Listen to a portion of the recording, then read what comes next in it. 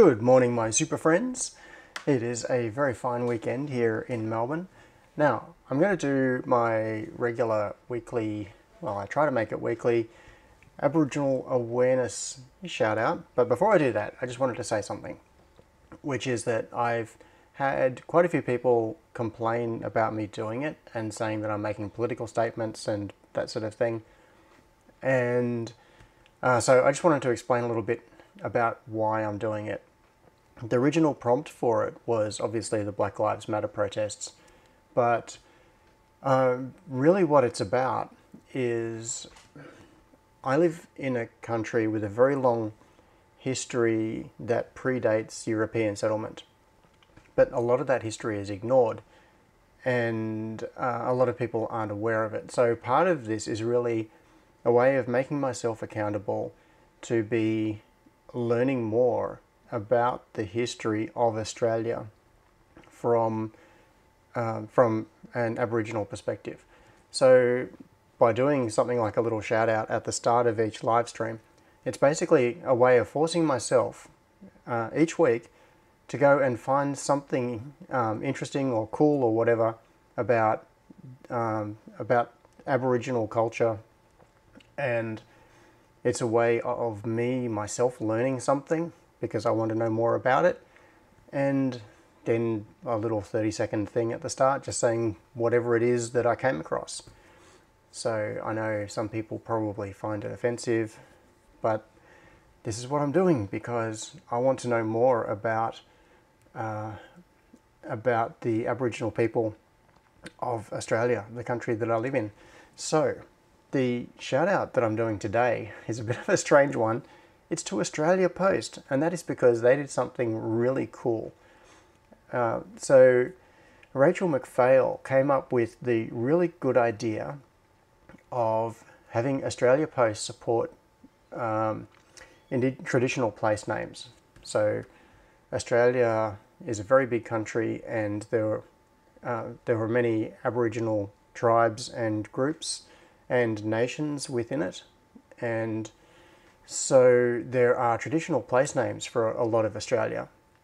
But of course, we use the European style place names for postage. And only a couple of months ago, Rachel started lobbying Australia Post to allow the inclusion of traditional place names in uh, postage. And Australia Post have done it, which is super cool. So I'm going to drop a little link about that story into the chat. If I can find my chat window. It is right here. And Australia Post have now officially incorporated this into their addressing guidelines. So if you are sending mail in Australia, you can include a line on it that says something like uh, Werrawong country. How, how do I pronounce that? This is the thing is that I know so little about it, I need to learn about it myself. Woiwurrung country, which is where I am. So, that's cool. Now, the a couple of other shout outs I wanted to do. One is something that I just saw this morning, which is really, really cool. This is fantastic. Um, many of you may know Steven Spohn, who is a gamer who for many years has been um, He's been working to improve inclusivity and accessibility in games and to help people with disabilities to be able to um, to use games in a way that suits them. And um, he and his charity have done a huge amount of work to make access to computers and gaming uh, much easier for people with disabilities. And one of the things that he decided to do was to start a fundraising uh, program. He wanted to try to raise $1 million to allow uh, for to run projects that would allow um, disabled gamers to be able to to play. and uh, during the night, our time, he was surprised live on uh, on his live stream when Twitch donated just straight up the one million dollars that he needed for his campaign. So that is a really cool moment. I'm going to drop a link and that is the link to so this is Steven's Twitter post uh, his, uh, his tweet. And this includes a little snippet of video which is the moment when he was surprised on his live stream. So he was on the live stream uh, with a couple of other people to talk about the campaign and the bombshell was dropped on him when they said we are giving you $1 million so that's very cool. And the final little entry shout out that I want to do is to my dad who um, who often watches these live streams. But right now he's if he's watching it he's watching it from a hospital bed he had open heart surgery a couple of weeks ago and then had some complications with it so he had a second round of surgery last week and he's going into surgery again tomorrow so to my dad if you're sitting there watching this, hang in there and just know that we all love you. Okay, so, um, oh, and I should say, my dad is super fit. So he's 84, and up until not all that long ago, uh, if we were out on the bikes, I would have to work pretty hard to keep up with him. Uh, and even up until a couple of weeks ago, like just before he went into hospital, he was riding uh, riding his bike every day, like going out on 15k rides. so, pretty amazing for an 84 year old. And uh, last week, I talked about the difficulty of how to do tutorials for uh, for software and put them in some kind of a video format. So one of the things I've been struggling with is how do I make videos that adequately, sorry, adequately explain how to go through a series of steps. And those steps could be quite specific, like they need to be, you need to update your list of packages and, uh, you know, install this, uh, this repo key, update list of packages, install this package, edit this config file. You know, they're very specific steps that you have to go to, to through to set up some types of software. And I've been trying to do that on video, supplemented by web-based text instruction for a long time. And um, I had some really good suggestions. Thank you very much for uh, people that sent me ideas about that. I'd like to call out one person in particular, uh, Stefan Huel, who sent me an email.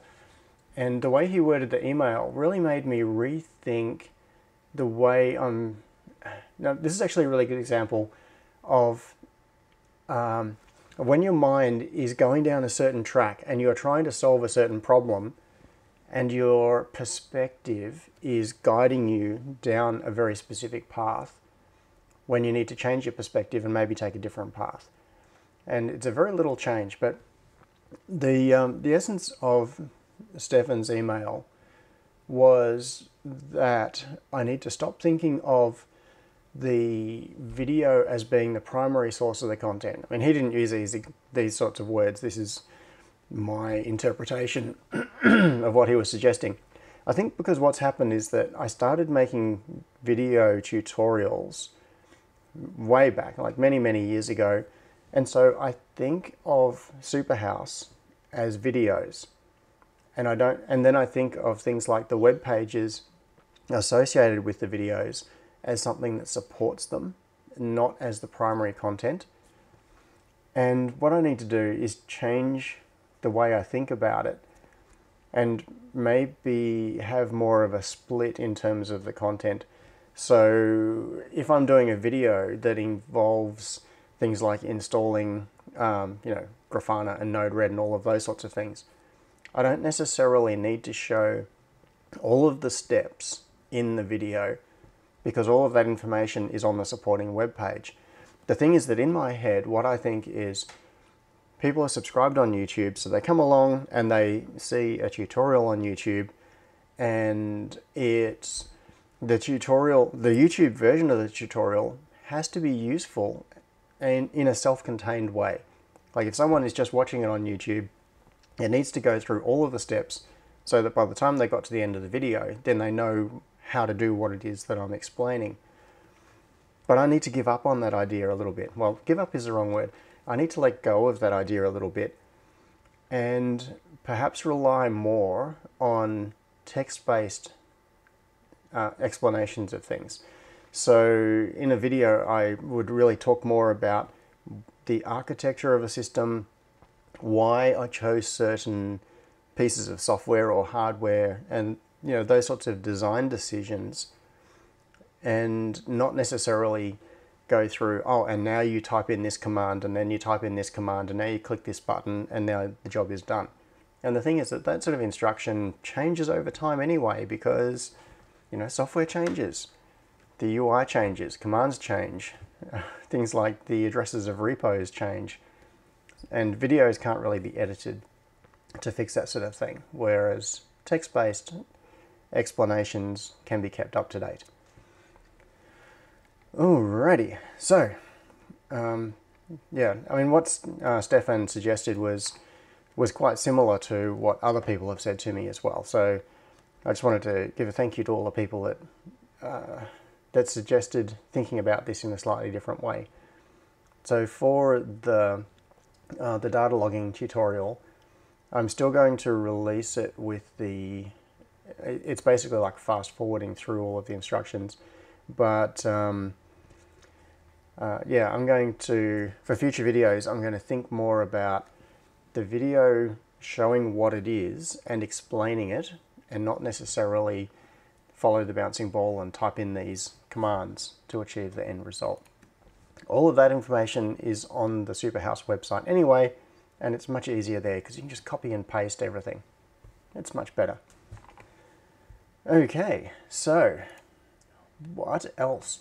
Now, I came into today pretty much unprepared with no specific topics in mind other than I might give you a little bit of a tour of the changes that I've made for my reflow oven setup, trying to improve the ventilation. And the thing is, I don't even know if it works properly yet because I haven't done a reflow job for two weeks and three days now, which is how long it's been since that time that I got really, really sick. Uh, yes. So, uh, Mako just said, uh, do you ultrasonic clean ESP32 boards?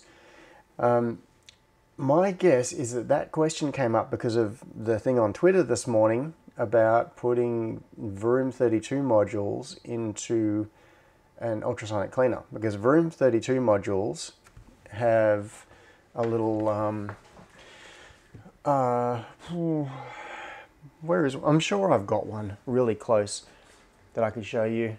There's got to be a WROOM 32 module.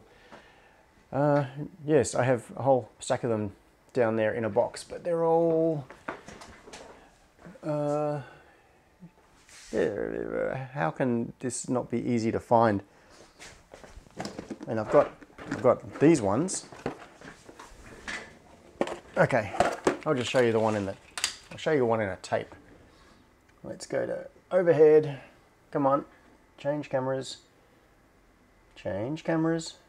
Nope, doesn't want to. There it is. Okay, so here we've got some WROOM 32 modules, and they've got this metal can over the top, which has this little hole in it right here.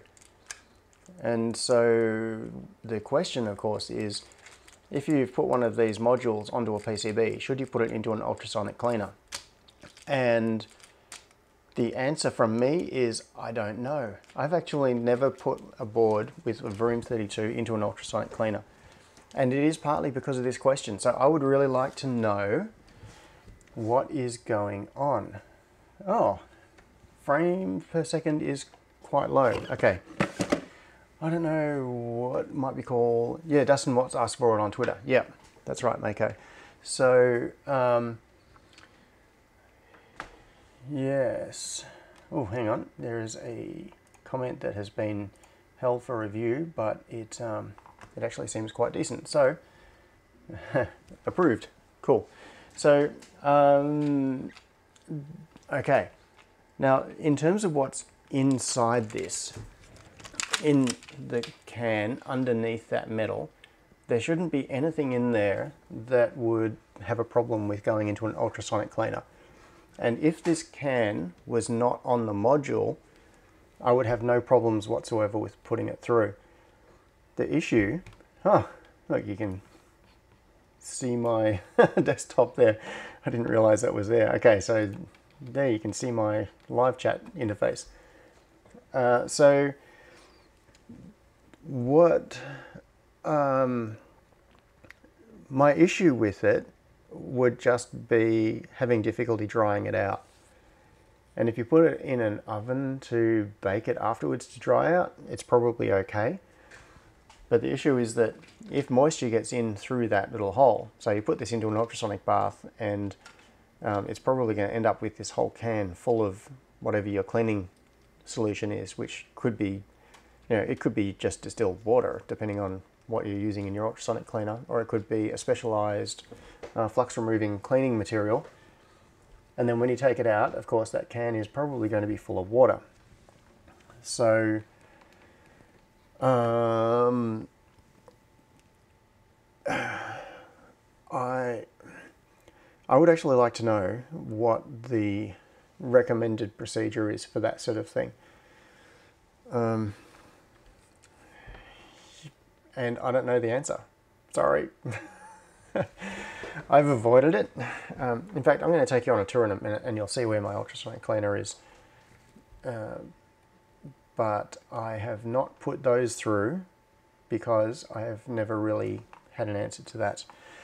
All right, so let's have a look at the, on that note, since we're talking about the ultrasonics, let's go for, oh, Dana just asked, what's the reason for the hole? So my understanding is that the reason is for pressure equalization. I could be wrong with that. Um, well, actually, one thing you could do is just put a bit of Kapton tape or something over the hole, which is a pretty common thing when... Uh, the thing is that the inside of the module is going to be nice and clean anyway because it'll have been you know, cleaned at the point of manufacturing before the can was applied to it.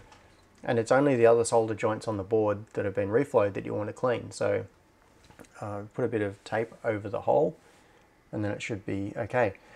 Johnny said actually the hole is for letting out the magic smoke. Yes. Um, yeah, and Frederick pointed out it would be filled with the solution because of the high frequency pushing it through, ignoring the fact that fluids mostly don't go through tight holes. Yeah, so if you um, dropped this into just a piece of liquid, like a piece of, a piece, yeah, a solid piece of liquid. If you just drop this into water, the surface tension would probably stop the liquid going into this and you would end up with an air bubble trapped inside and the inside of the can would stay dry. But because it's in an ultrasonic cleaner, it is quite likely that the vibration of the ultrasonics would break down the surface tension and it would allow the moisture to penetrate and the air to bubble out in tiny little effervescent bubbles like a like opening a bottle of black label uh, yeah. So, um, oh, Mike O'Connor said, I hear somewhere plugging it with nail polish. Would that work? Hmm, I don't know. And Mike, Mako said, yeah, but where the shield is soldered, aren't there small crevices? Yes, there are. So this is a really interesting question that I can't help answer, but luckily there are many clever people here who can possibly help with that question. So I would love to hear. Um, there are some small crevices and let's have a closer look before we go to the portable camera and I'll show you the other thing. Come on. This thing is really having trouble switching cameras today. There we go. All right. So what have we got? Uh, we, what we don't have is focus. Oh, we do kind of have focus, but let's, um, because I want to get this at a strange angle, I'm going to move this over here, pointing at the ground, and I'll see if I can get the distance just right. So you can see that the can is soldered down. what you can see there, it looks like two rows of connectors back to back. One of those is the reflection, the back row is the reflection of the connectors in the silver of the can. But in between the two rows of connectors, you can see a little silver line, which is solder. and the can is soldered down to the carrier PCB all the way around. However, oops, let's see if I can get it in the right place. See that corner right there? That is a hole. There's a little gap in there, an air gap. And there's an air gap on that corner. It's weird, the lighting on this is really quite bad. Uh, so it's it's well sealed most of the way around apart from those corners. But my understanding of the purpose of this little hole in the can is for pressure equalization. I could be wrong about that. If anyone has a better explanation, please share it. I'd be very interested to hear. So, uh, mm, oh, Dodgy suggested maybe the hole is a location dot, but I don't think so. Uh, certainly not for a module like this because it's so um, it's such a specific footprint that it's impossible to misorient it.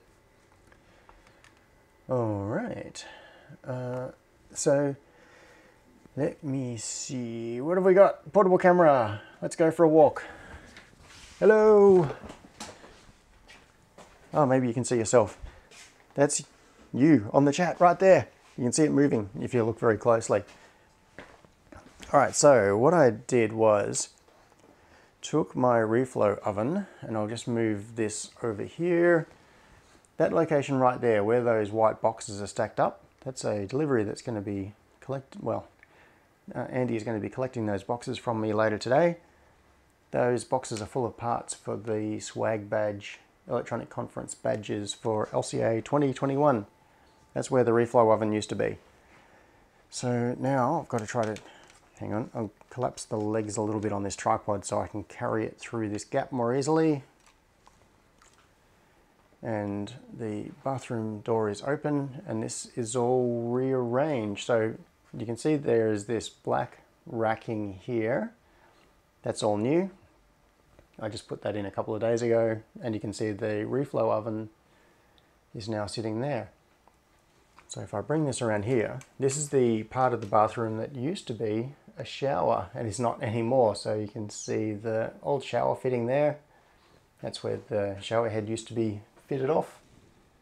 Just over there somewhere and my MendelMax 3D printer is just sitting on top of the um, of the fume hood. So this isn't even plugged in yet. In fact, I have not yet run this. But what you can see just down the side, oh, and there's my ultrasonic cleaner. So if you look down the side there, you can see this big duct coming out of it. So it's a 150 mil duct, and I 3D printed an adapter just on there. This is uh, duct taped onto the adapter. So there's a 150 millimeter hole through the side of this fume hood. And then that duct goes up there and up and you can see that I've removed the old exhaust fan. The exhaust fan is just sitting up on the shelf at the moment so it can be put back in. I did it this way because I wanted to make it non-invasive. I wanted to be able to reverse this with no uh, consequences so at the moment, just up inside the ceiling there is a, very, is a fairly large extraction fan, which is plugged into the socket that the old exhaust fan was plugged into. So if I press the, the button to turn on the exhaust fan for the bathroom, you can see the duct there is starting to shake. That's because the fan is running. Don't know if you can hear it, you probably can't. And now there is air being sucked in all around here it's being sucked in backwards and then being taken out the back and up through the duct and that's all being vented outside. So it travels through the ceiling space uh, to the end wall and then it goes out through an external vent out there. Oh, and as I was saying before, there's my ultrasonic cleaner. It's now in a nice handy spot just near the reflow oven. But none of this is actually plugged in right now because I've just been physically getting things in place and I only just got the exhaust system installed. Uh, so I haven't even connected anything up and run a test job yet. So I don't know if it's going to work. It may, it may not. Let's come back around to here.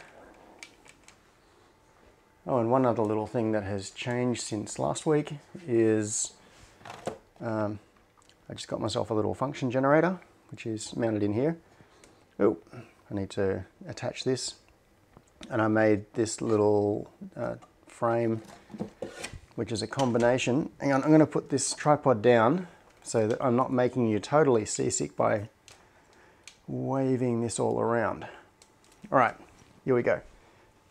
So this is just some uh, plywood. I think it's like three millimeter, four millimeter plywood, which I've cut and glued. There is a 3D printed bracket in here, which the function gen is mounted into. It's just clipped in. And that gives me a space where I can chuck notebooks and things as well. So my random lab notebooks can all go in there, but I need to attach this a little bit more securely. Now one thing is that this is not quite finished yet because right now there are no cables in plugged into this and this function generator has the BNC sockets on the side and then it's got power sockets on this side. So what I'm waiting for um, is some right angle cables. So right angle BNC socket will go into the edge here and then internally it'll travel back through it come around under the bench and then I'm going to have just down here somewhere I will have the um, extensions terminating so I can plug cables into it down here and then control it up here. It's part of my plan basically to have uh, convenient outlets for things along here and then the control surfaces up higher but unobstructed so I don't have cables in front of everything. That's the idea anyway It's getting there. All right, so I'll put you back over there, looking up this way. And maybe today, I, what I need to do is start catching up on some uh, some questions. Change, that's it start catching up on some things that have been in Discord because I have not looked at Discord now for two and a half weeks, I think. Something like that. Yeah. Oh, okay. So, uh, Magic Blue Smoke said, that's how we do it at work with many connections on a control surfaces plugged into a power supply. Yeah, cool. Uh, how will I uh, hmm. Sorry, just catching up on chat here. So Mako said, how will you power the appliances?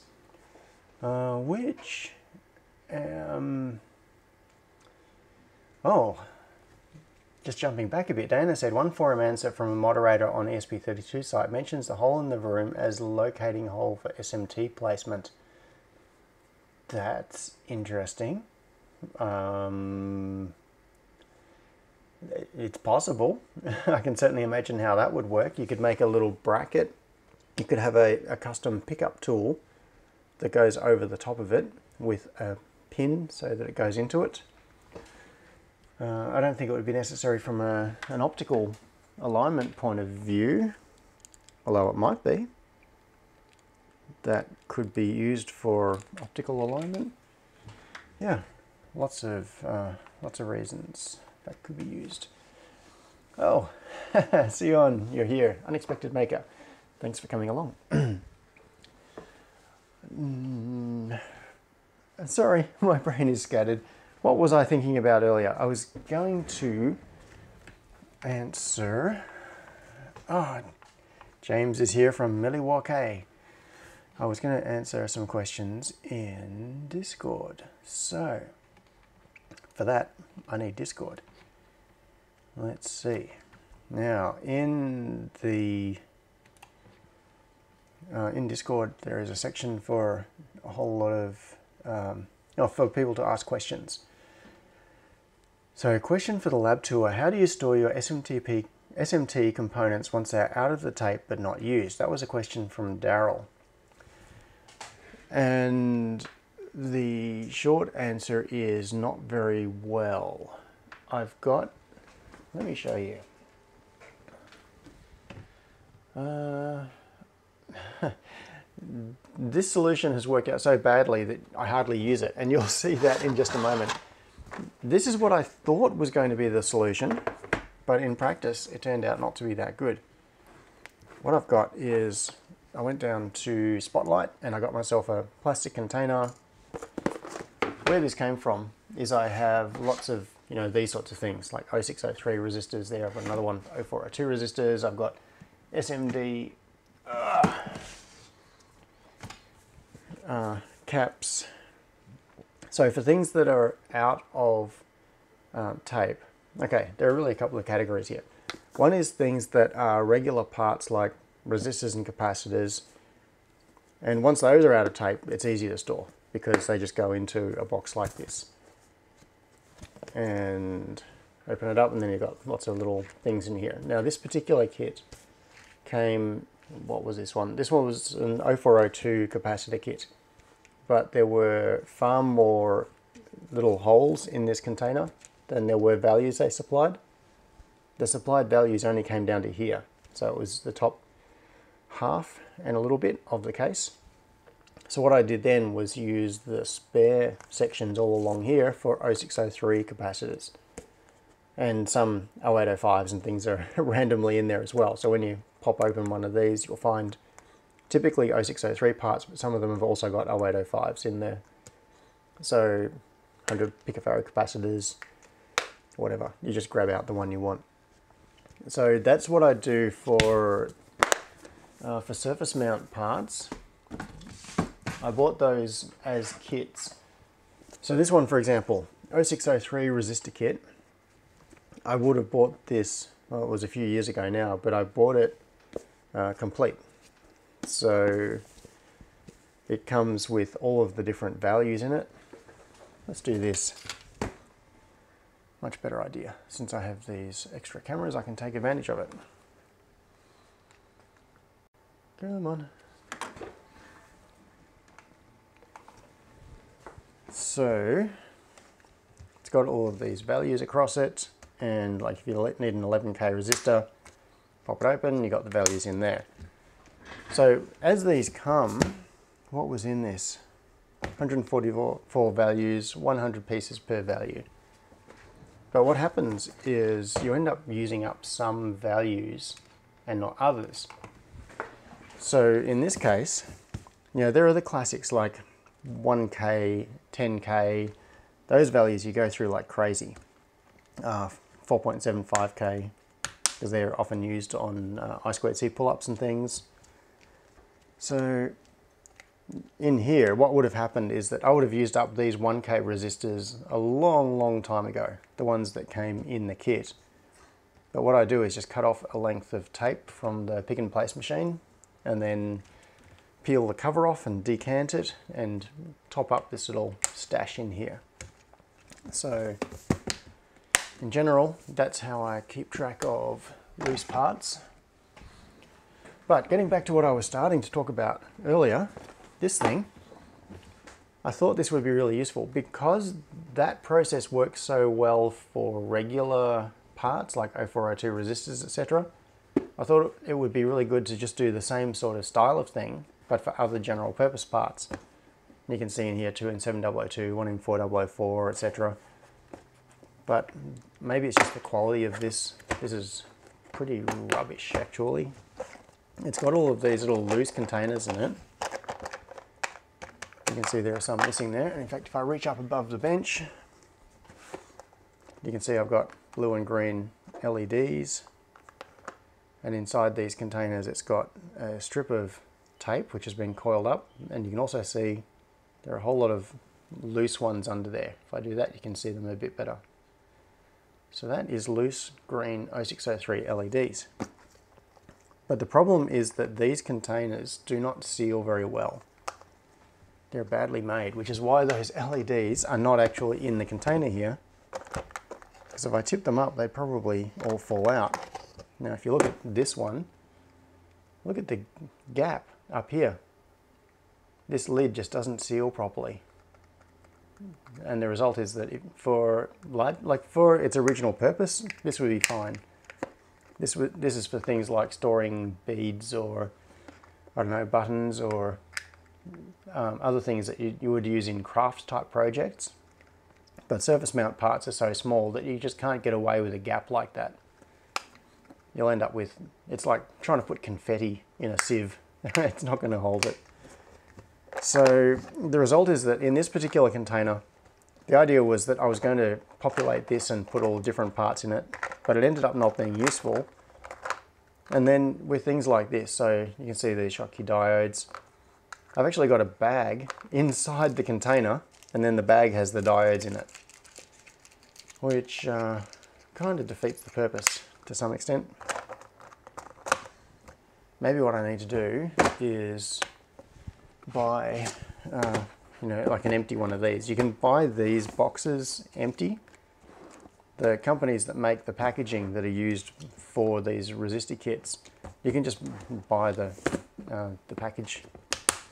I could just buy one of those. The problem is that those holes are a little bit small to hold anything really unusual. And uh, uh, some of the, well, these aren't too bad.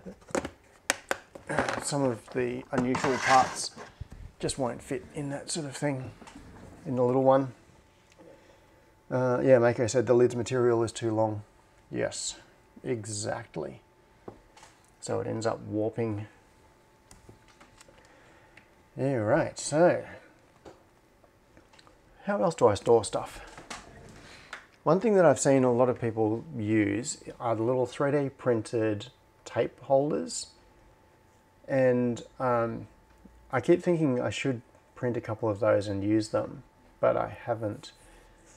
And I think because it wouldn't really fit very well into my own particular use case. I mean, they're super useful for other people. Just trying to think of a, um, a way of explaining that. Okay, so the tape that comes on the pick and place machine uh, can, if you have just a short length of it, say you've got a couple of hundred resistors, it's going to be about that long. It's long enough that it's annoying to store, but you can roll it up and put it inside a little plastic container, which is like a dispenser, and then you can just pull the end of the tape, and it's like a, eh, conceptually, it's like, you know, a sticky tape dispenser except typically they are square and you pull the tape and the cover tape can be peeled off and then you can take parts out of it. But I find that I don't tend to store short lengths of tape with parts very often. Most of the time it's either loose stuff, like what I was just showing you, or it's complete reels. So, oh, and the other thing I have which kind of solves that problem, the real problem. Oh, excuse me, even two weeks later, I'm still not properly recovered from this thing. I'm still having trouble breathing. So this is a really, really dodgy reel holder. So the idea with this is that you can put reels across here and you pull the tape out the front and you can peel back the cover tape and then use this as a pickup location. So if we come back to here, you get a better view of it there. So this is 100 nanofarad capacitors, as you can see. So if you're doing a hand assembly job, what you would do is load up the parts that you want on here. This would sit on your bench, like it might sit back there a little bit out of the way, and imagine this is the board I'm assembling. So then you could use either a vacuum pickup or, well, tweezers are difficult into tape. They don't really work very well because you've got to get into the little cavity. But you could use a vacuum uh, pickup and you go pick, stick it on the board, pick, stick it on the board. So that's one possible solution as well. And there's also the carousel system that Unexpected Maker has done, which is, um, which is also very cool. Just chuck this back out of the way. So Seon system is like a little lazy Susan sort of arrangement. It's a round uh, platform with a series of compartments around it. So that what you do is you put your PCB in the middle and then you have different parts in the compartments and you just rotate it so that you can pick it up easily. Uh, yeah. Oh, and Dodgy said, if only they made a machine to do that. Yes. So, hopefully that answers how do you store SMT components. Uh, James O, and also I should point out these questions are from ages ago. Let's see, 12, 9, yeah, 12th of the 9th. These questions are from more than a month ago, which shows how far behind I am on Discord. So I apologize for that.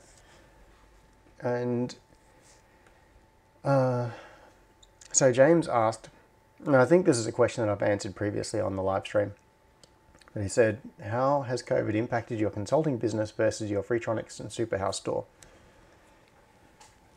Uh, the very short answer, I won't go into it in great detail now, is that the online sales have dropped dramatically and consulting has increased dramatically, which is really cool actually.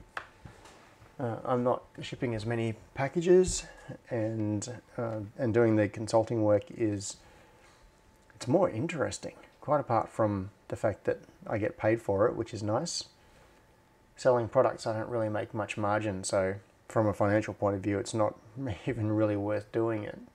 But um, for consulting, I typically get paid by the hour, and that's increased. So that's good.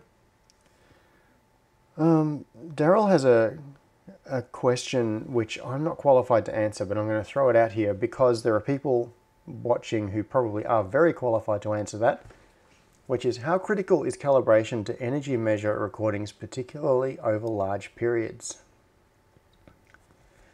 So, uh, one of those questions is, ah, Dana, well, thanks for dropping in.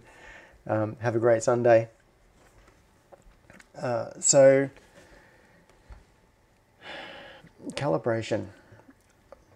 I suppose from it depends on whether you are thinking about energy monitoring from a, from a billing point of view or more from an insight and observability point of view.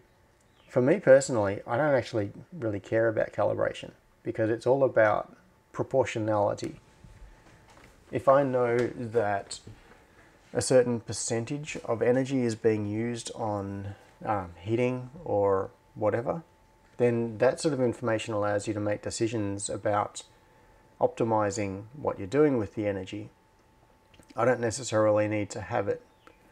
I mean, for me, for energy monitoring, if it was, you know, 10% accurate, that would probably be fine because it's still indicative. It wouldn't even need to be a specific number like uh, X kilowatt hours the units are almost arbitrary as long as you can compare different things within your house and see, oh yeah, that is where all of the energy is going. So it could be measured in magic pixies or something. That's really the important thing. Uh, so, um, yeah, oh, this is a really interesting question, also from Daryl. This is probably something that I would want to get into in a bit more detail, maybe more detail than I would do today, which is I see many YouTube channels talk about microcontrollers these days and connecting sensors and things, less pure hardware projects. For example, Adafruit have STEMMA. In the past, you would put an op amp on a board to use a PIR. Now you just get a module. Or you could design a power supply, now you just drop a buck converter module in. Do you think the art and skill of debugging pure hardware is getting lost? Um, I think there is huge scope for educational content around that, uh, that basic electronics. And this comes down to a question that has come up in the in relation to organizing the Open Hardware MiniConf as well. And what we're seeing with the Open Hardware MiniConf is that the idea is that we're taking a bunch of software people and introducing them to hardware. And there are a few ways you can do that. One, and there are a few barriers to it. One is the barrier of soldering. And soldering is not as hard as a lot of people think it is. It's certainly not to do basic things. So part of it is demystifying that and making people realize that you can go out and buy a, you know, even a $15 soldering iron and make basic connections and build something that works. So it's getting people past that mental hurdle of thinking that that's too hard for them to do. Uh, and so part of the point of the Open Hardware Miniconf is giving people the opportunity to experience things like soldering in a safe and controlled environment where there's someone that they can ask if they have questions. And it might sound like I'm getting off the topic of what the original question was, but this is just a different aspect to it. So one way we could deal with that is that we could bring in software people and have them connect some modules together and uh, and have a device that works at the end of the day. And you can understand that at a, a system architecture level. It's really like a flowchart. You can see there is this block, which is the voltage regulator, and this block is this particular sensor. And they are linked together, but you don't necessarily understand how the blocks work. Now, there are two ways you can approach the education, uh, the educational aspect of this. You can do a top-down approach, or you can do a bottom-up approach. With the top-down approach, you're looking at this overall architecture. So you're saying this is the complete system and these are the things that do the different parts of the job and then how they are linked together. And then you get lower and lower down into it. So you might just take the, uh, the voltage regulator um, on faith, essentially. You're cargo culting it and you're saying, I've got this block, this part of the system, which is the voltage regulator. I don't understand how it works but I know it works. So we'll just use it. And you might look into another part of the problem, another part of the system, and learn more about the specific parts that are within it. So you're working down, down, down to get down towards the individual component level. The other way of doing this from an educational point of view is starting from the bottom up. And that is starting with what is a resistor? What is a transistor? What is a capacitor? Going through all of these sorts of things and then um, building up more and more complex systems, starting with the most simple elements and expanding out. Now, the thing is that the way I learned was more of that second approach, and that's really the approach that things like Dick Smith's Fun Way into Electronics uh, took it. They would start with, uh, yeah, they would start with a basic circuit. Like in Funway Volume 1, Project 1, the very first thing is a couple of transistors, a couple of resistors, a couple of capacitors. Well, you're already up to six parts, I think, in it, in the, uh, the basic one by default. And you uh, are building a blinking LED. So even from back in the 1970s or early 80s or whenever this was, the first hardware project was still Blink. It was just done all in hardware, no microcontroller, no firmware involved. But then by understanding from on that really, really simple circuit how the different components work in the context of that circuit, you can then build up and create more and more complex things. So that's the bottom-up approach to education. And I um, Oh, I don't actually know which is better. but what I've noticed is missing is that bottom up approach. If you look at most tutorials these days, and I think it's partly because you can build very complex things very quickly by taking a modular approach, looking at the system level and then going down. But I think what has been lost to some extent are those low-level tutorials. There, I mean, there are places around. There are YouTube channels and there are online tutorials and places you can go and learn about what is a resistor and how does it affect your circuit and those sorts of really fundamental things. But a lot of people coming into electronics from the hobby point of view start with I have a, a working microcontroller board that I bought for $5 or $10 it's got USB on it. I can plug it into my computer, and by loading some firmware, I can now make the outputs go up and down, and I can read inputs. But even the simple circuit itself of the board with a microcontroller on it is still a mystery. You, you could look at it and say, I know it's got these headers, that's where I connect stuff. There's a USB socket, that's where it gets its power and where I talk to it. But all the parts on the board, I don't know what they are, I don't know what they do. And I would, this is a, a thing that I've been thinking about a lot recently. And it's a subject that I raised recently when we were talking about the um, the topics to cover in the upcoming Open Hardware MiniConf. So January 2021 it'll be if the MiniConf is accepted. Uh, so um, yeah, Unexpected Maker made the, the very good point. It's an issue of time. Bottom-up learning takes a lot of time and commitment, time to learn slowly and time to experiment. Yes, and you don't get the immediate reward so I think that is why there is so much popularity for the, the top-down sort of approach at the moment. And the thing is that I'm not an educator, so I've, uh, I'm not a teacher. I don't know anything about teaching methods and the best ways of conveying information.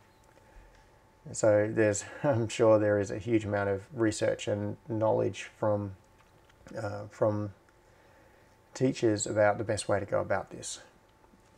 But what I would like to do is provide some more little bite-sized pieces of content that help people if they do want to look into so even if you're coming from the top-down approach and you're looking at the overall system and you've got these major blocks that talk to each other and you want to know what's inside those blocks, it can sometimes be hard to find that information. And I think that is where uh, it would be useful to have a bit more content. All right. Uh, I saw a comment just a moment ago. Yeah, uh, Andy said you don't need to choose. You can and should do both top down and bottom up at the same time. So many awesome online resources for both. Oh, and there's a link to Righto. I don't know Righto. Thanks, Andy. I'm going to check that out.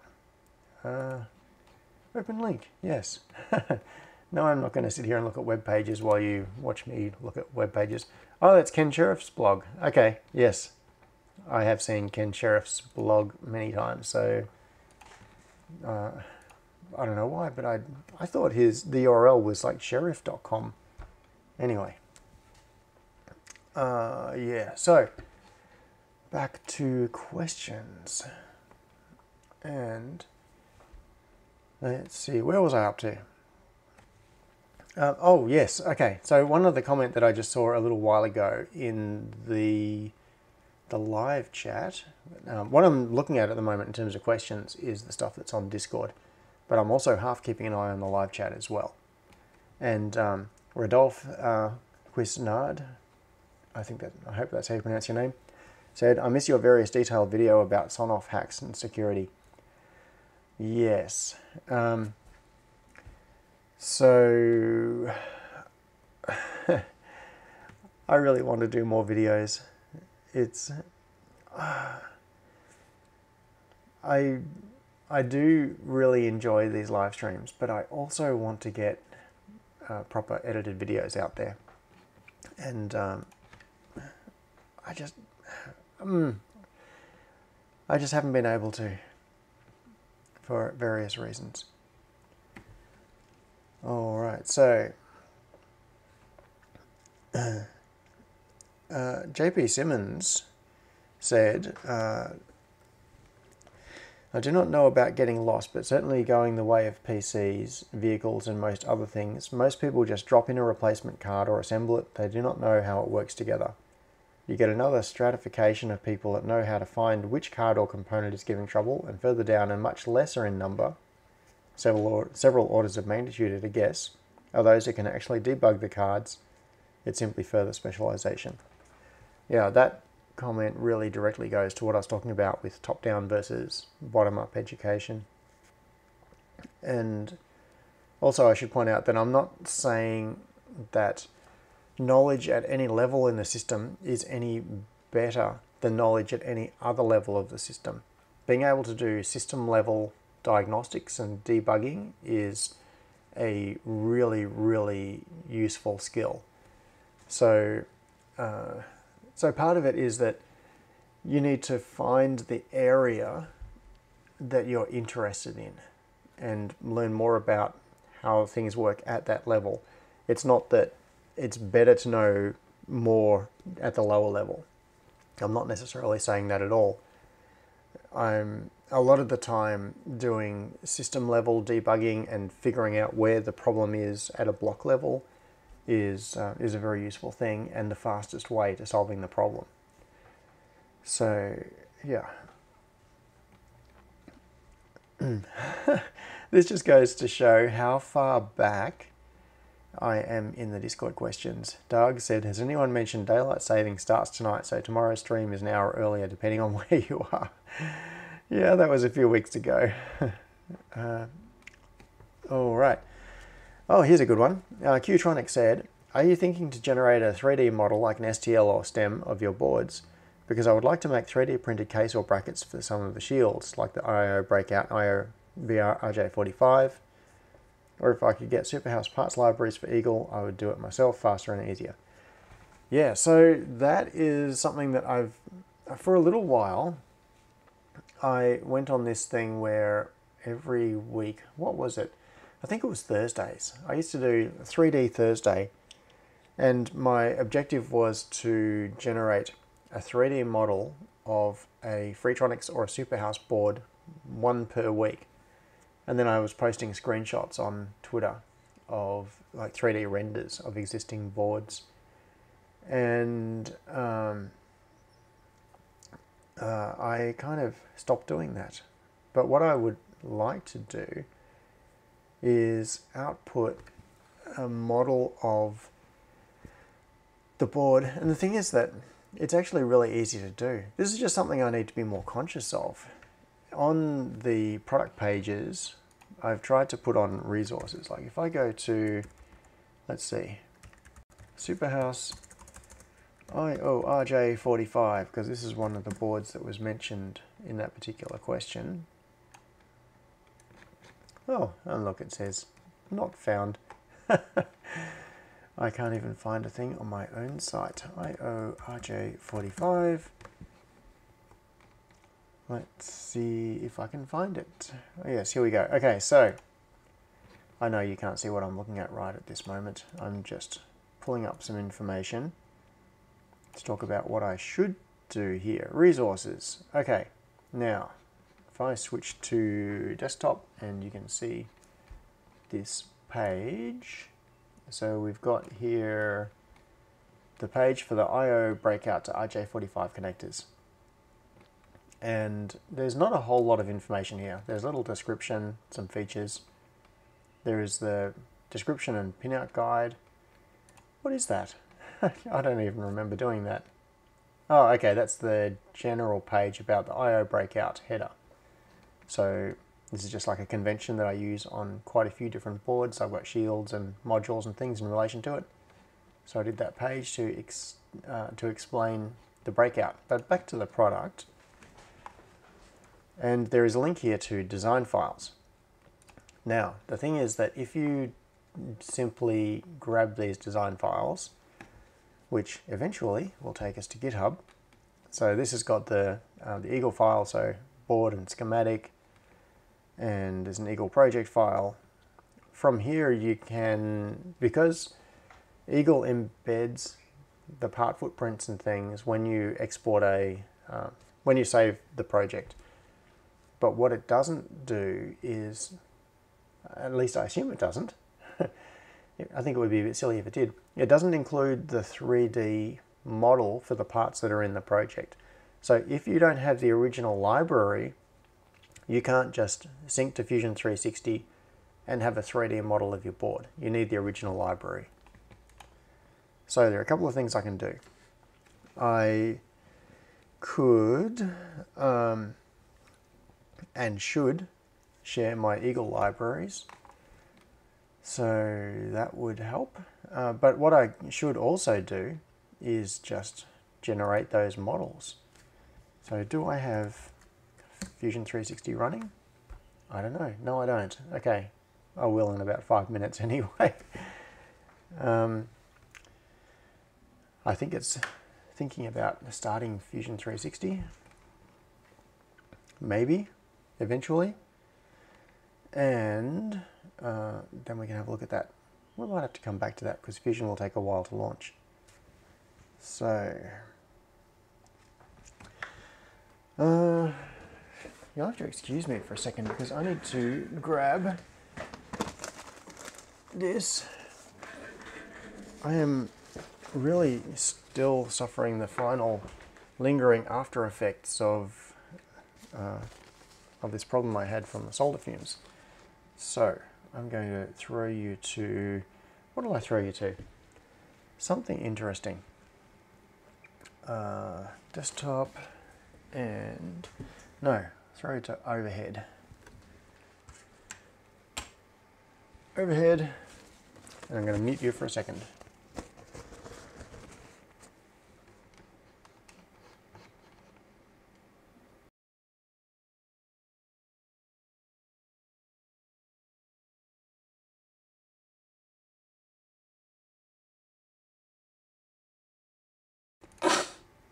Sorry about that. I had to blow my nose, and I didn't think you should all be subjected to that too much, other than the little thing up on the corner of the screen there. So what we've got is uh, uh, now, did Fusion ever launch? What happened to that? I don't know if it did. Let's see, Fusion. Oh, my computer thinks Fusion 360 is running. Oh, there it is. It's on a different screen. Okay, let's bring it back over this way and go into, what have I got? Superhouse modules. Let's see if I have a model in here. So when I do something like the IO-RJ45, IOBR Mega, it's got to be there. There it is. All right, so if you wanted to make a case around the IO RJ45, it would be very useful to have access to this model.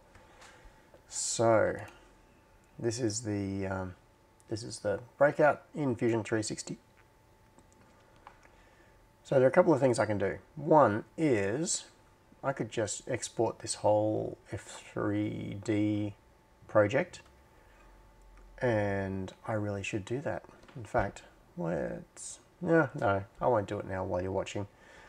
But what I should do is progressively over time go through the different, um, I am so not with it today. I, my brain is struggling with this. I didn't even have the right, the right camera view. So, uh, what I can do is export this as an F3D file so that you could then bring this in and um, build your own case around it and use this to you know, use this as a tool to cut a hole into the front panel or however you wanted to approach it. And I could also save it as like a an STL or some useful conversion format like that because not everybody uses Fusion 360. So if you wanted to use uh, like OpenCAD or OpenSCAD or whatever it is, um, you could pull in something like an STL. So anyway, let's not do that right now. But that is definitely a very good suggestion. And uh, I really do need to focus more on putting content up on these pages. Because if you look at this particular page, which has got the IR breakout to RJ45 on it. There's not very much here in GitHub. It's just got this little thing that says what it is with a link back to the page, which is going to be broken. ah. I think I need caffeine or something today. I'm struggling. I've been so tired after the last few weeks of being sick. So let's go back to checking these questions in Discord.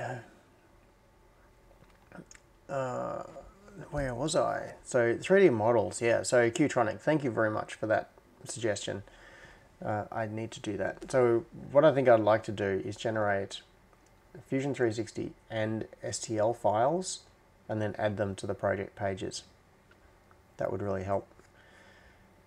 Um, oh, and Planes 203 said, wondering if there is an option for early access Etheruno and what the estimated availability of the final release is likely to be. Um, there isn't really an option for early access, and the only thing holding it up now is me placing the order for a production run. So, where did it go? I had one here somewhere. Etheruno, there it is. I can see the box.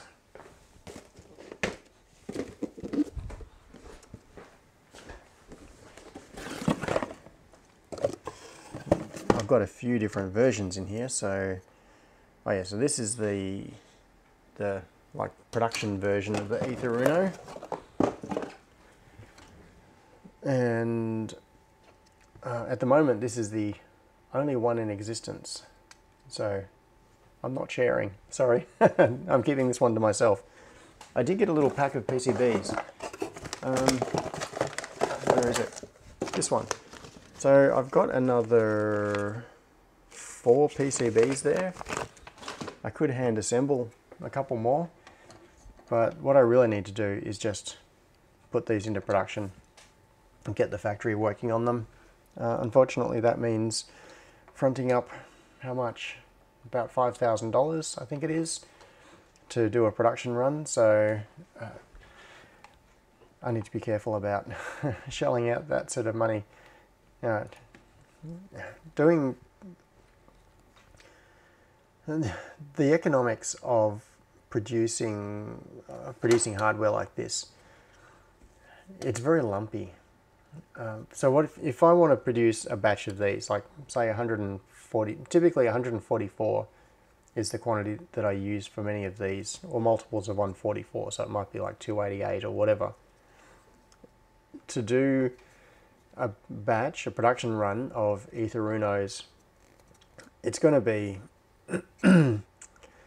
uh, I haven't actually run the numbers, but it's going to be somewhere like in the four to five thousand dollar region and then that stock ends up being sitting on sitting on the shelf for a while and then I'll sell it and I'll make the money back but I've got to front up the money in the first place to do the production run. So that's just something I haven't got to yet. I've been slowly accumulating funds in my um, in my bank account so I can pay for a production run. Mm. Uh, yeah, oh, Sarek said, uh, this is a suggestion for a topic to cover. Perhaps going in, going to using switches, similar or the same as standard 240 volt ones, with a light switch controller in some more detail, as mentioned already across a few of the other channels. What would be cool is a fallback mode in the microcontroller that if networked MQTT fails, it uses a pre-configured association. Yeah, so I am I'm looking around because I've got something just down here that, uh, no, I won't bother pulling it out. There's other stuff stacked on top of it. So to explain this a little bit more, just to give a bit of background to Sarek's suggestion slash question. For the light switches, in fact, one thing I can easily get to is this. This makes a pretty good prop anyway. So this is the simple home automation switch. So this is a four button system. It's got the PCB on the back with the little socket on there so you can plug the cable into it and it takes power and illuminates the buttons and then when you press the button it just sends a signal down the wire. Now what I've been thinking about doing is making a version of this PCB which has got holes to match the back of a standard power uh, like a standard 240 volt light switch. So what you could do right now is by using a, a, couple of bits of cable, you could connect it into the back of the light switch and solder it onto the holes in the PCB here, which are meant for using these buttons. So you could use one of these breakouts and convert a regular uh, toggle type light switch to being an automation switch. The major difference, of course, is that these are momentary. So they're normally open, you press them, they close briefly, you let go, and they open again. Whereas a toggle switch is either open or closed depending on the position it's in. So there needs to be a change in the software. I did actually talk about this a couple of weeks ago when I was going into the, the whole thing of the new light switch. But um, I want to make it easy for people to do that. And with the new light switch controller, uh, the new rack mount one, in the firmware, what I'm planning to do is have an option so that for any of the inputs, you can just say whether it is a button or a switch. The same as you can do in Tasmota. So in Tasmota, you can have an input to the device, like into a Sonoff, and you can specify whether it's a button, in which case it's momentary, or a switch, in which case it changes state. And on each state change, you need to be able to change the output. So uh, that's just a little flag uh, and very, very simple to implement in software. So the idea is that what I want to be able to do is have regular uh, mains light switches on the wall connected to the UTP cable, have it go to the light switch controller, and um, and have it understand that for those particular ones, when it changes state, that's when you need to toggle the output. Mm, right. Um, ooh, Daryl. Uh, thank you very much for putting this in. So uh, Daryl just put a link in uh, in relation to what I was talking about earlier with SMTP part SM. Why am I saying SMTP today? I've done that several times and I've got no idea why my why I'm doing that. SMT. So these are storage boxes. I'm going to chuck a link into the. Oh, no, I'll just bring it up on here. Come on. Got to bring this over onto this screen. Switch to desktop. Okay, so what we're looking at here are parts cases, but these are basically empty cases, I think. Do they come from? Yeah, so that seems pretty expensive, actually. Oh, two units. Okay, so two cases. It's US $41. Let's see. 41, 144. They've got a few different sizes here. Oh, okay. This is interesting. They've got other versions that have got much bigger, uh, much bigger compartments in them, which could be useful for other things. So this is really just, uh, this is what I was mentioning earlier about the the parts boxes, these ones here, buying just the box on its own with nothing in it. And you can get them in all these different sizes. So hmm, there are some here that look like they've got black. Why is that? I don't know. Some of them are, are grey, some of them are black. But I don't know what the difference is. If I read the description, I would probably figure it out. Yeah, you can see better views in the photos there anyway. So there are a whole lot of so the difference between static dissipative or clear versus not clear. Who knows? But if you want to store parts, that looks like a good option. Yeah, cool. Thanks for that link, Daryl. Yeah, and as Daryl said, good thing is they have different sizes. All right, now. Ah. Uh, let me see. Does mute work? I need a drink of caffeine.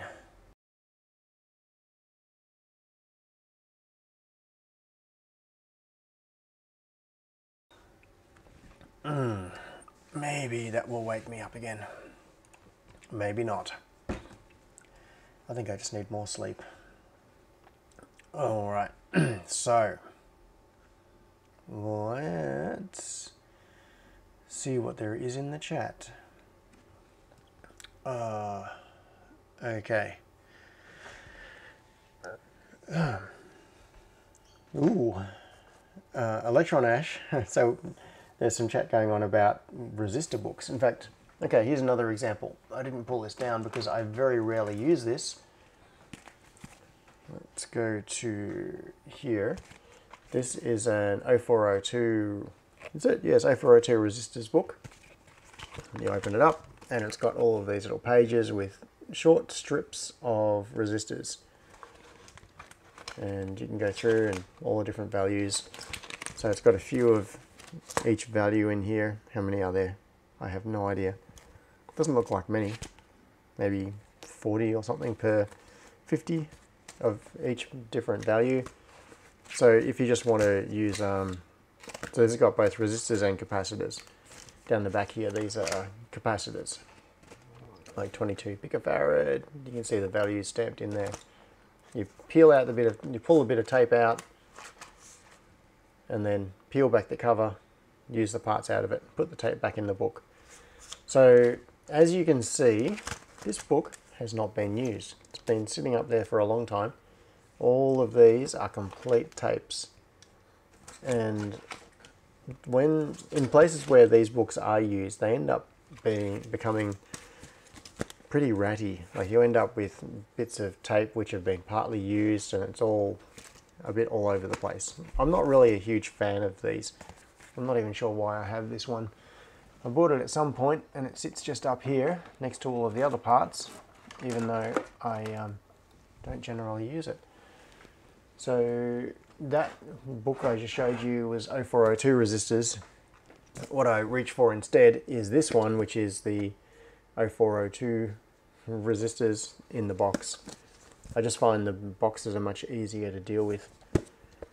With the resistor books, you've got to pull the tape out, peel back the cover, and uh, it's just annoying. Yeah. oh, Magic Blue Smokes it. I must be the odd one out. I've never found a useful one of those books. Yeah, yes, well, as you can see, mine has never been used. Not that particular one, anyway. Yeah. So, uh, oh, S. Leonhardt said, any news on the Ether 10? There are plenty of Ether 10s right now. I did a production run. I ran two, a batch of 288 and they are in stock right now. But I may not end up doing any more runs of them. That depending on the timing of the Ether Uno, if I do a production run of that soon, I might just phase out the Ether 10. But one of the things,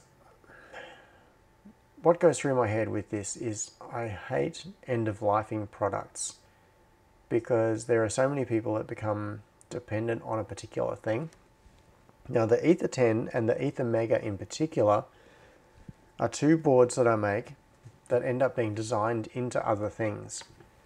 And um, and I know that there are like I've got customers that will place order for things like Ether Megas and they might order 50 at a time because they've designed a product that takes the Ether Mega and they just plug it in and it takes care of everything that they need.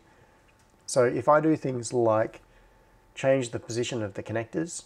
It could mess up their enclosure design. Uh, there are all sorts of things like that now uh, that are a um, that kind of lock me into not changing things, and sometimes that is a real uh, yeah, it's a real shackle around your legs. It just stops you from being able to move forward. So part of the reason for going for the, the major change with the Ether Uno is that I can, so the Ether Uno conceptually is, ju- it's really just an updated version of the Ether 10. If you know, um, uh, if, if you, mm, Sorry, lost my train of thought. This is going to go down in history as the worst live stream ever. Maybe I should just get drunk or something. I should take up drinking. um, get drunk on live stream. It would probably be more entertaining. Uh, if if you look at the versions of the Ether 10, starting from version 1, it's gone through a number of iterations, and there have been some changes. The very first Ether 10 had mini USB on it, and then at some point it got switched over, I think it was version 2.0, to micro USB. There are a couple of other minor changes to it, but for the most part, it has been those little incremental changes. And going from the Ether 10 version, I think it's 3.0 at the moment, or 3.1, to the Ether Uno, which is really the, um, it, it really is another increment. The Ethernet socket is in the same place, the SD card socket is in the same place, and that's deliberate. I've been trying to keep those sorts of things consistent. Um, but I've changed to USB-C. The uh, the Ethernet chip has changed from the WIZnet W5100 to the 5500.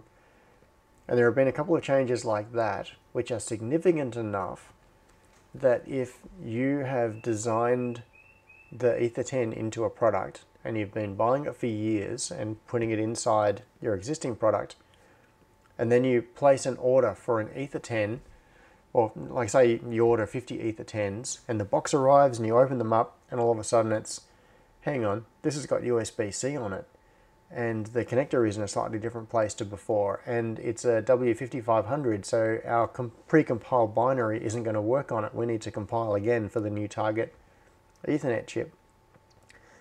Uh, that could make some people angry. So, so that's partly the reason actually for changing the name. It's a way of signifying this is the Ether 10, this is the Ether Uno. One is the successor to the other, but you wouldn't um, unwittingly order a batch of Ether Unos without realizing that something has changed. It's an indicator that, hey, we in the past we've been buying Ether 10s. Ether Uno is conceptually a drop-in replacement for it, but there are some differences. And we can't just um, use our existing process to push the same binary into it that we were using on the Ether 10. We're going to have to recompile it. And now we need a different cable to plug into it because it's USB-C. All of those sorts of things. So the change in name from Ether 10 to Ether Uno is to signify that difference. But what I might end up doing is continuing production of, of the Ether 10 if necessary. And I'm kind of going to play this by ear. So if I do a production run now of the Ether Uno and on the Ether 10 webpage I put a notice there saying this product is end of life. Um, you know, we've got the stock count there so you can see how many are left. Once it runs out of, uh, once I run out of stock, that's it. from then you have to buy the Ether Uno.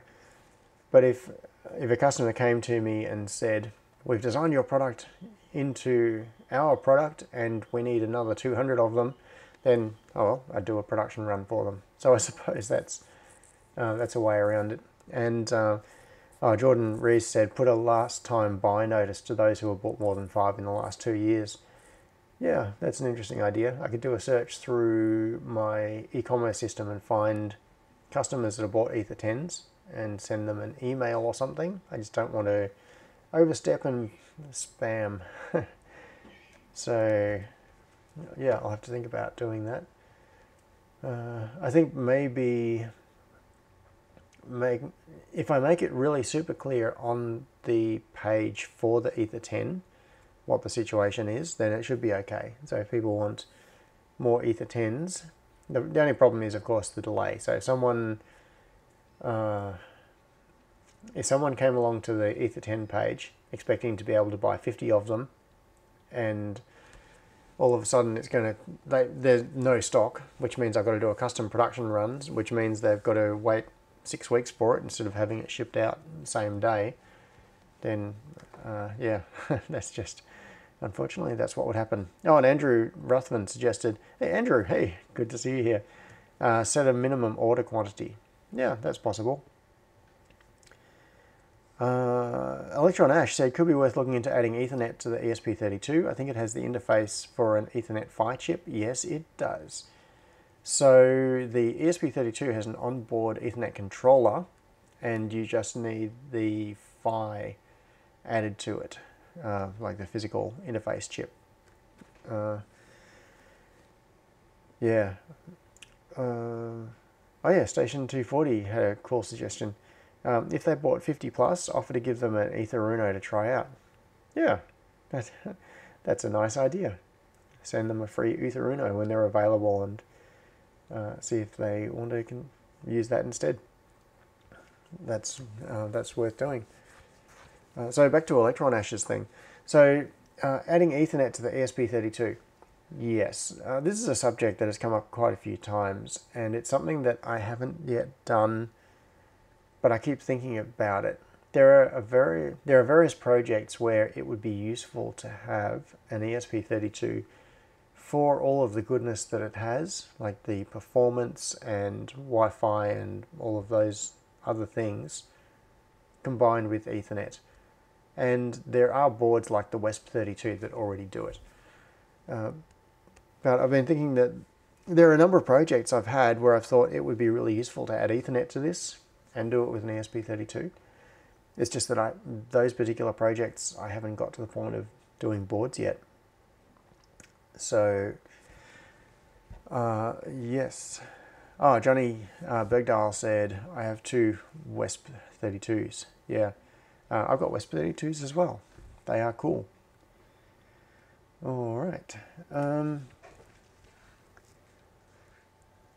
uh, oh, hang on. this is going so far off topic that, ah, oh, yes. Uh, I'm just reading back through the, um, the, the thing this is totally off topic, and I don't know how this came up in the chat. I must have missed something. Dodgy Brothers Engineering said, uh, responding to Johnny Bergdahl, yes, I must say I was something blown, somewhat blown away by the disturbed version after hearing the original. It was kind of a wow moment. And uh, that's because Johnny said, the only music I had any reaction to in the last 10 years was when Disturbed made The Sound of Silence. Uh, yes. I've got to say, I'm not really that much into music. Like, if someone asked me what my favorite type of music was or whatever, I couldn't really answer. Um, some music I like, some I don't. I don't. I'm not really a music sort of person. But I've got to say, when I saw, um, yeah, Disturbed version of The Sound of Silence, that, yeah, that just blew me away. It is amazing. I can't believe I'm here talking about music. the thing that I am least qualified to talk about and have the uh, the um, have almost no opinions about. But there are some things when you come across them, they just make you stop and listen. And uh, yeah, Disturbed's performance of The Sound of Silence. If you haven't heard it before, go and check it out on YouTube. Just search for The Sound of Silence, Disturbed. It brings an incredible level of intensity to that song. All right. Oh, since we are now chasing that squirrel, uh, something, another thing I heard which had a similar reaction to me was the first time that I heard um, uh, Mongolian throat singing. Uh, yeah, there was a, a song that was uh, got a bit of airplay uh, a couple of years ago now. I can't even remember what it's called. I could find it again, but I won't because that is so far off topic. Uh, but yeah, Mongolian throat singing is. Uh, if you liked Disturbed's version of The Sound of Silence, look up Mongolian throat singing. Alrighty. Um, so, uh, oh, Dodgy Brother said, been into audio for many decades, biggest money drain in my house.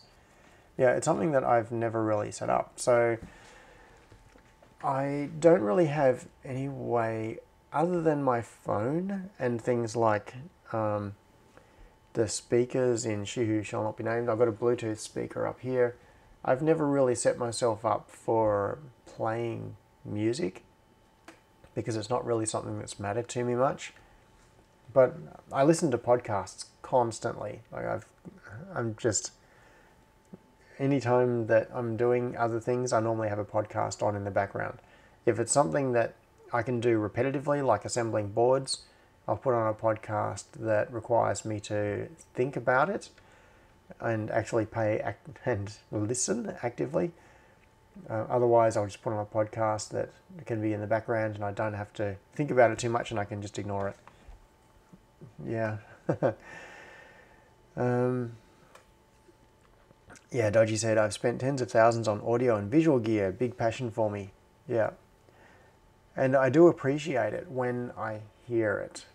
And I know many people are audiophiles who really enjoy uh, good quality audio reproduction. And it can it can sound amazing, but it's just not something that I have put the time and effort into. Yeah. Um, oh, cool. Dentistry said already been designing circuits using the Ether as a reference design. That's nice to know. So, um, oh, that actually brings up something that uh, this has got me a couple of times recently. I've the way I work in general in terms of designing things is that I tend to immediately go to being public. So if I'm working on a design for something, it won't necessarily be finished yet and it'll already be up on GitHub. And what happens is I get people contacting me saying um, things like, uh, why can't I buy this? Or um, telling me, you know, this is incomplete. That's yes, I know. It's because I'm sharing the process with you.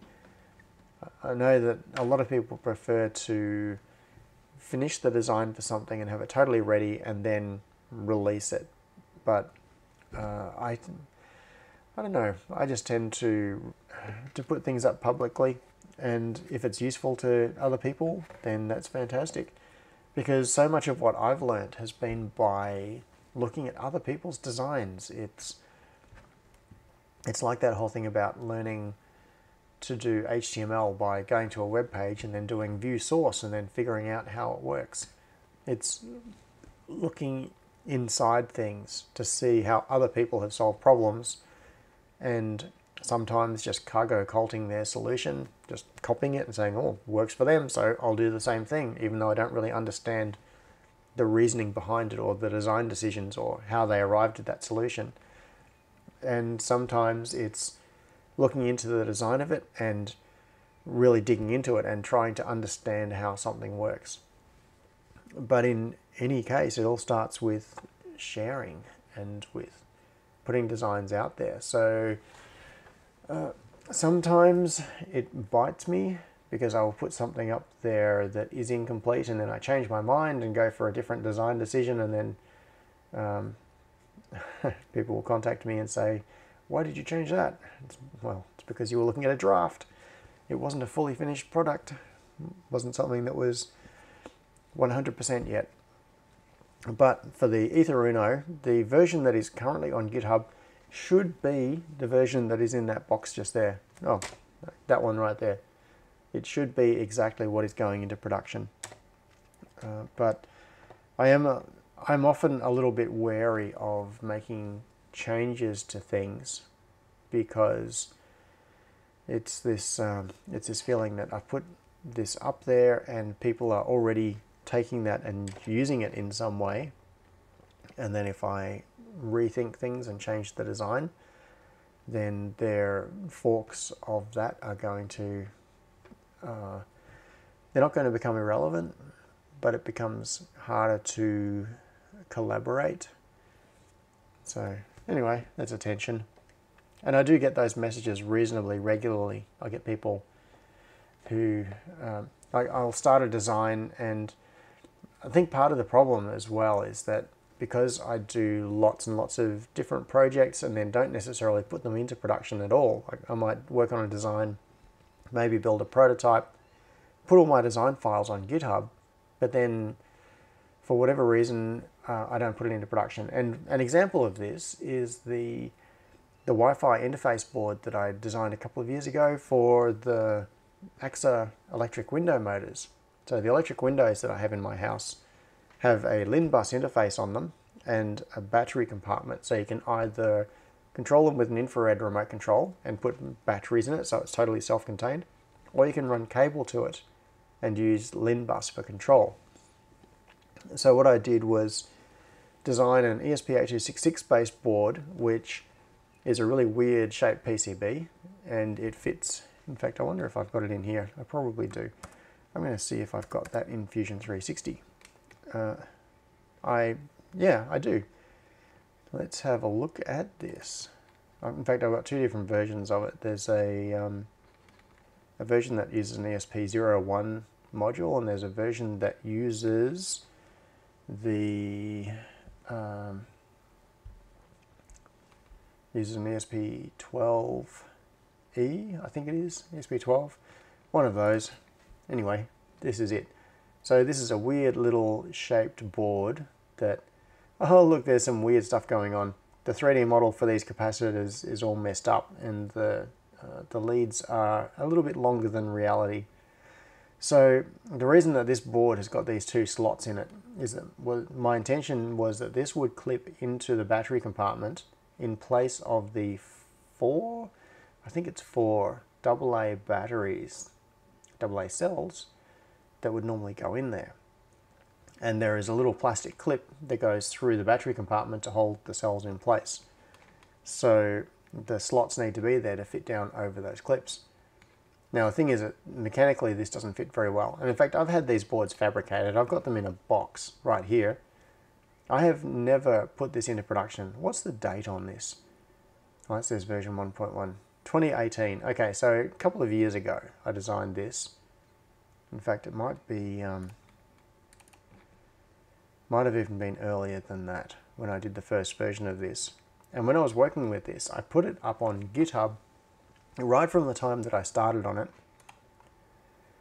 Yeah, here's another version. Oh, and you can see some dodgy rendering here because the modules, I'm trying to get it at the right angle to be bad. There we go, we've got some dodgy rendering there. It's because I don't have 3D footprints set up properly for those parts. When is this one? Also 2018? 2017. Yeah, see, so this one was 2017. This is the version with the ESP01 module, and you can see there's a footprint there where it goes on. Come on. No, it doesn't want to. Alright. So, anyway, back to the point of this. I was playing around with these ideas. There we go. And I never actually produced or released these boards. But these designs are several years old now. They've been sitting on GitHub all of that time.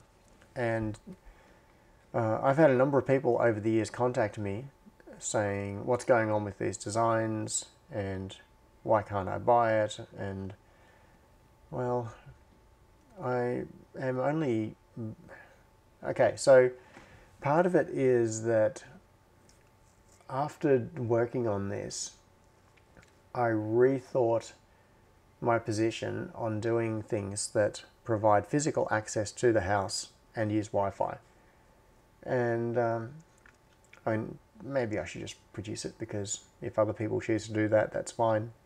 But I would prefer not to use Wi-Fi to control something that controls physical access to the house.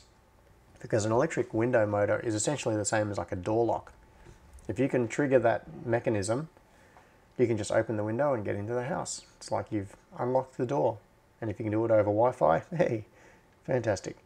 So uh, I kind of lost interest. I was experimenting with this idea and then I saw some other squirrel and started ch chasing that instead and I just lost interest in this. So I never really followed up on it other than messing around with the other version of it, which is this one here. And I did produce prototypes, so I physically have a, um, a prototype of this that I can use and test. But the other thing is that I discovered mechanically that it didn't fit properly inside the battery compartment. So I would, in order to make this actually useful, I would have to redesign this a bit because just because of the shape of the way things come over here. I'd need to flatten the voltage regulator, like lay it on its side, and make a few other changes to it. And so the combination of not being particularly motivated to finish the project, along with having problems to solve, meant that I just put that aside. Never actually did anything with it. Uh, and it's really there kind of as a, I suppose one way of thinking about it is that it's like, it's a draft or an experiment. And if someone else wants to continue the experiment, go for it. You're most welcome to. The design files are there. You can grab them, you can edit them, do whatever you like. It's all under an open license. Um, but I just haven't had the time slash inclination to pursue taking the next steps that would be required to modify this design and make it fit properly and then do all the testing, put it into production and sell it for a board that's going to have a very, very niche market. I mean, how many people have AXA electric window motors and want to convert them to Wi-Fi? It must be like a market of about three people in the world. Uh, so anyway, maybe there is latent demand out there and I'm ignoring the project that could turn me into a bazillionaire, but I don't think so. So if people want to use it, they can. But anyway, the point of all of this was that I have many, many projects on GitHub, not all of which are fully in production. Many of them are like this. They are, it's 90% there. And technically this thing works. Electrically it works.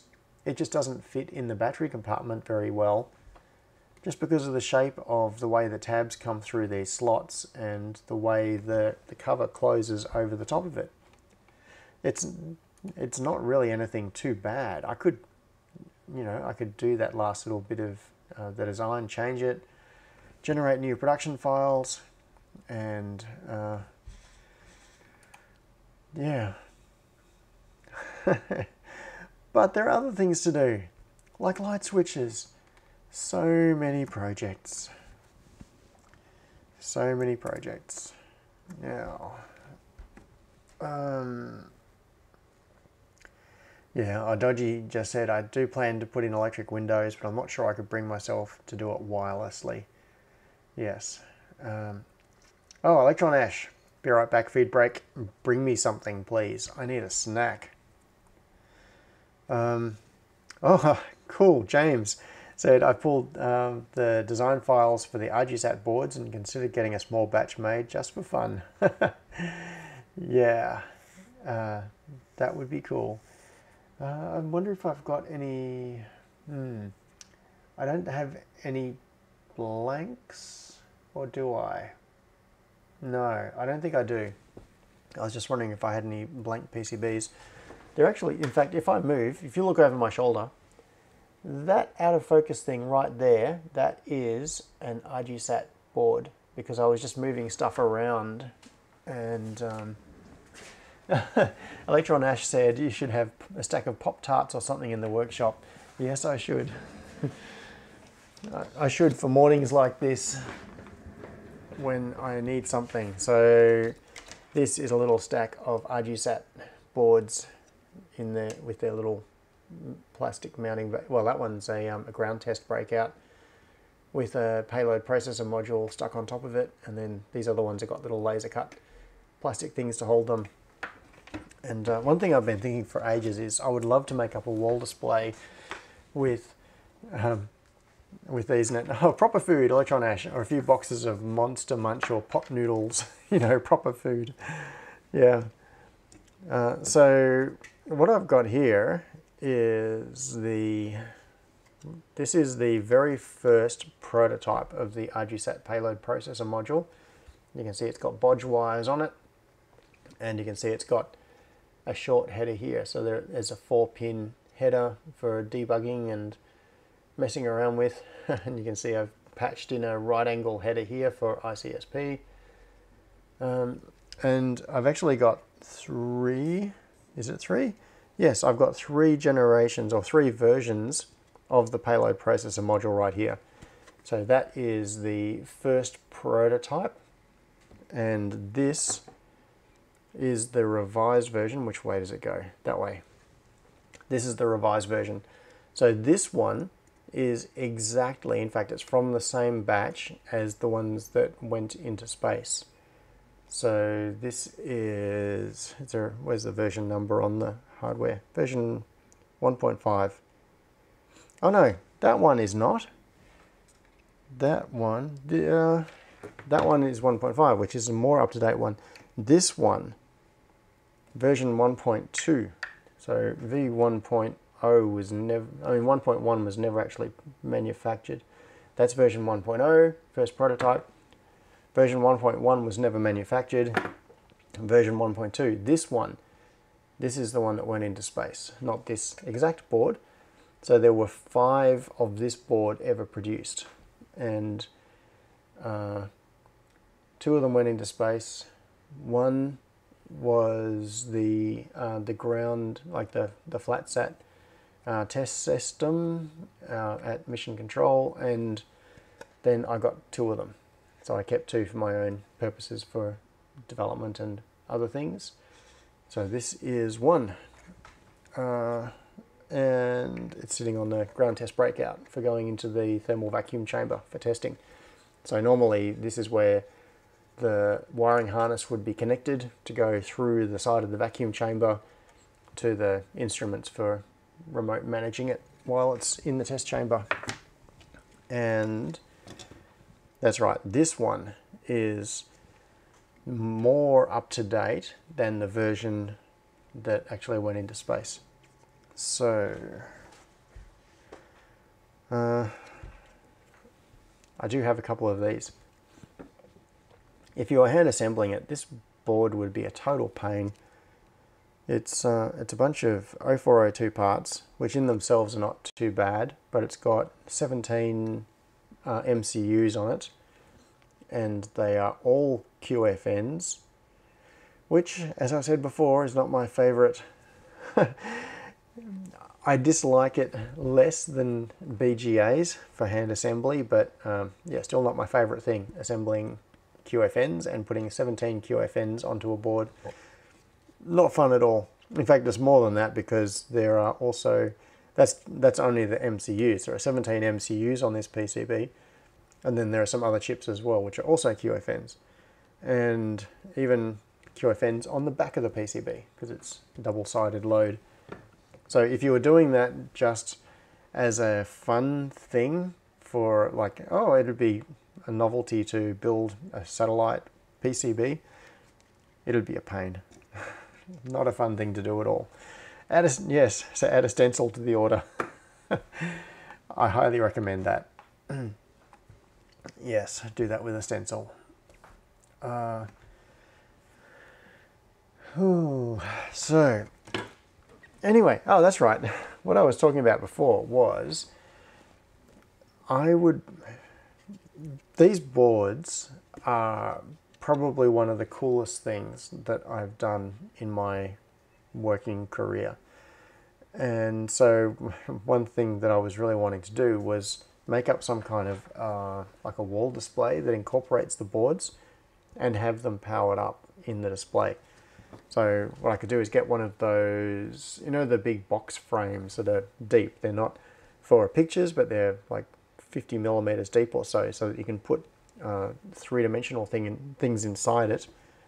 I could get one of those and put the what I could do is either put the three versions of the hardware that physically exist in it, so I have them all side by side in a row or above each other in a stack, or I could do those and also do, like I could put in the three payload processor modules and also put in something like the um, this uh, satellite power supply module as a fourth, so I could have it like a grid of four modules, put it inside a uh, some kind of a frame, like one of those 3D box frames, and run power through from the back. So what I could do is patch power onto the back of these.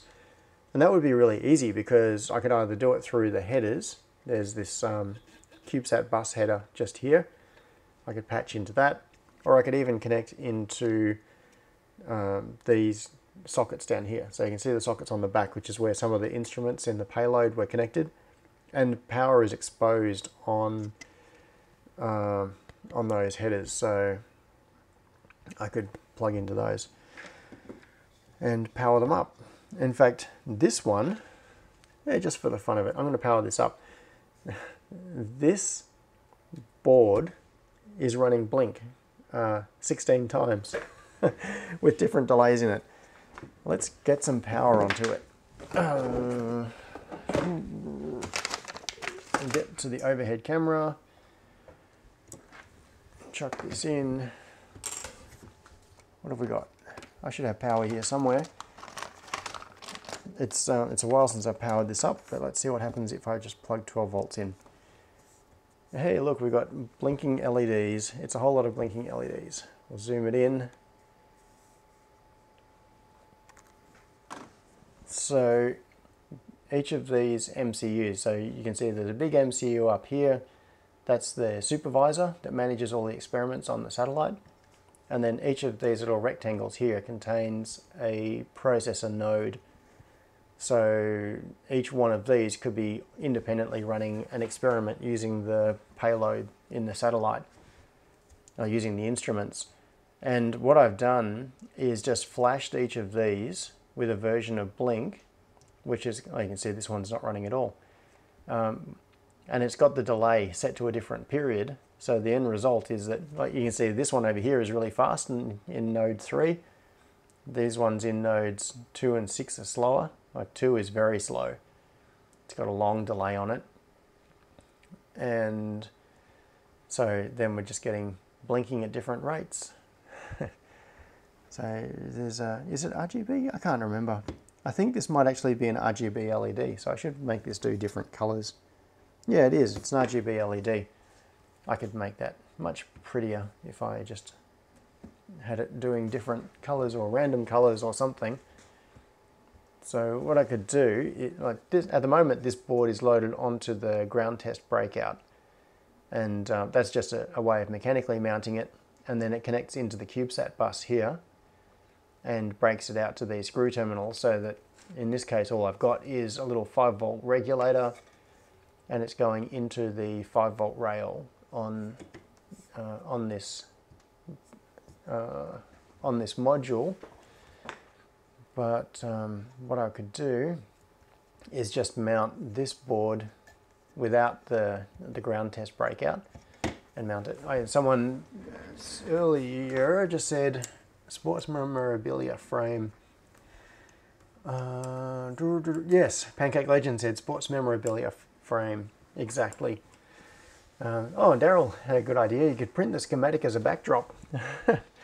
schem maybe part of the schematic, a lot of it is very repetitive. In fact, uh, let's have a look. I should be able to pull up part of the schematic for this and where did I, um, I've been in the process of restructuring the way I store my projects to unify a lot more information within each project. Uh, LibreSat payload processor module, there it is, this particular one. So open, come on. So a lot of the schematic for this is very repetitive. Yeah, here we go. Okay, so this is the um, the PCB. Oh, it's still loading. Why is it taking so long to load?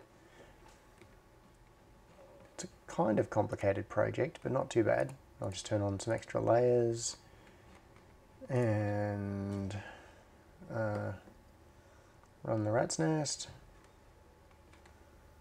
Come on, you can do it. Computer's having trouble keeping up and rip up the rat's nest. Okay, so this is the, the PCB layout for that particular board.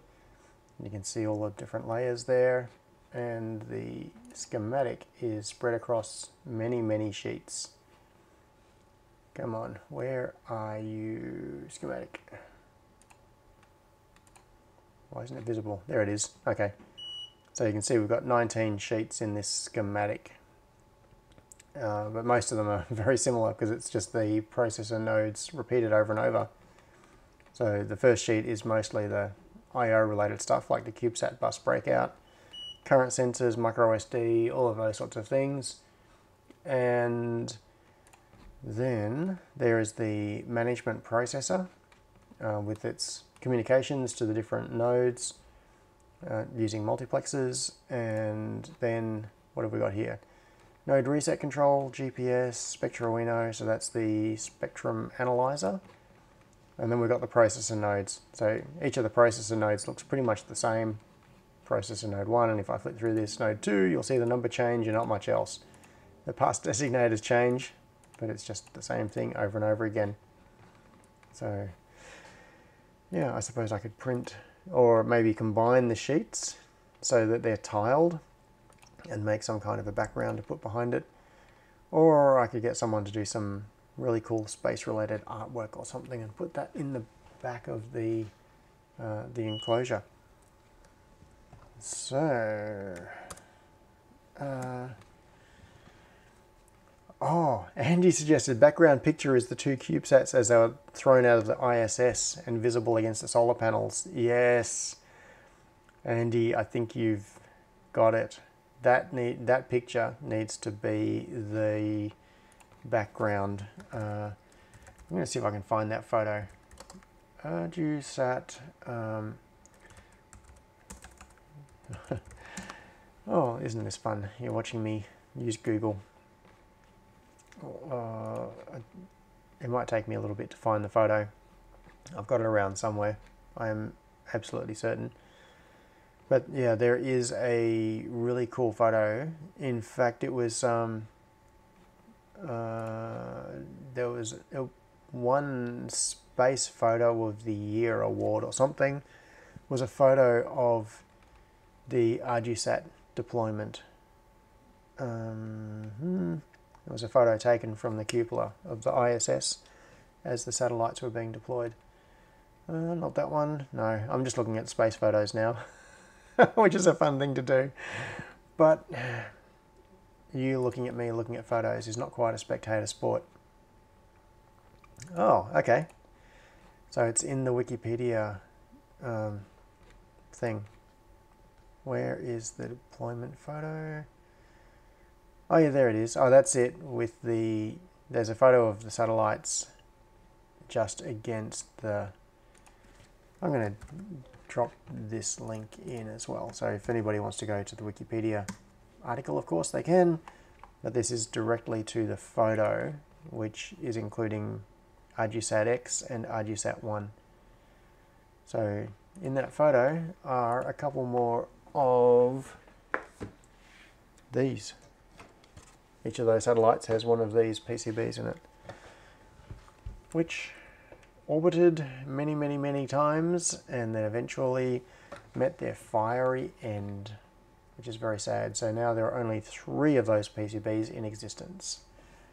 There were five for a while. Oh, yeah.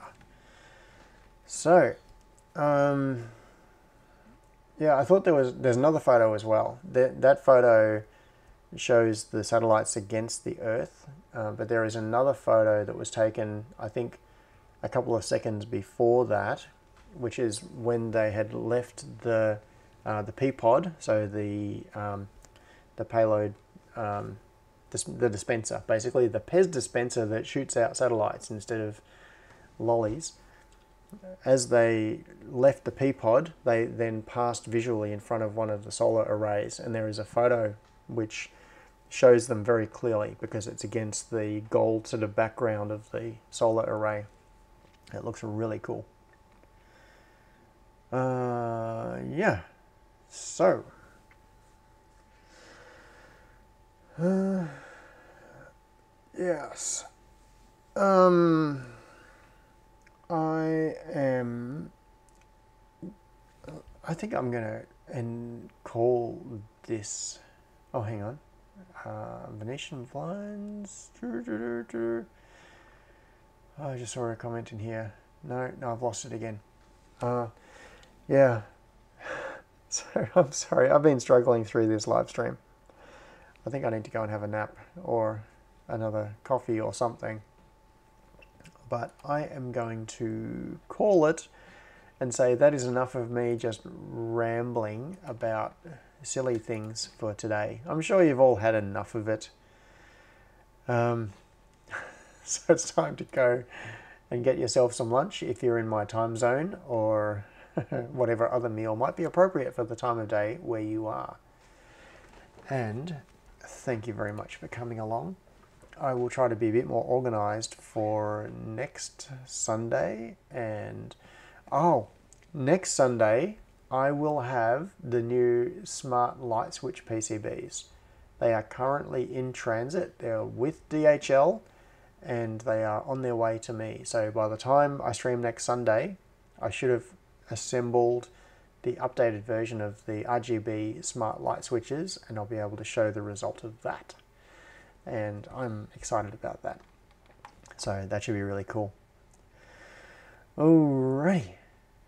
Thanks for coming along. Have a fantastic weekend, what's left of it, and uh, I will see you all next week. See ya.